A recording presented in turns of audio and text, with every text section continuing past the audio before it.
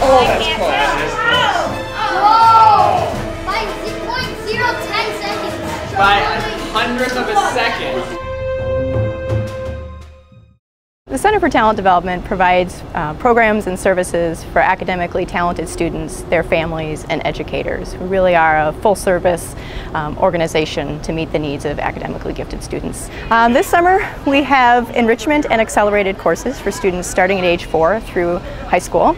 Um, there are courses in robotics, there are courses in math and other science areas, humanities, so really something for everybody. The title of the course is Design Machines That Work.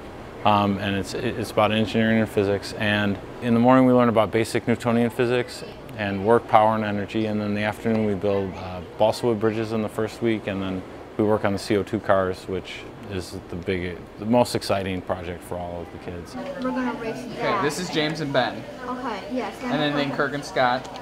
Clear. And live. It's coming. Go.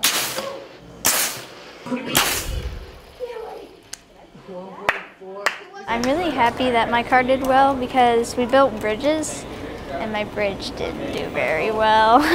It's basically about learning what engineers have to do and how they have to meet specifications and the challenges that they face and taking ideas from blueprints to actually building them and tweaking them. My car, I was trying to make it a heavyweight, so I built it to be like a heavyweight, but then when I weighed it, it was 99 grams, so it was just under the heavyweight cutoff. So I had to make a bunch of extra cuts to get it to be a more competitive lightweight. It's an opportunity for them to be in a place um, where they can learn uh, with kids who enjoy learning. And it's a place where it's cool to be interested and excited and enthusiastic about learning.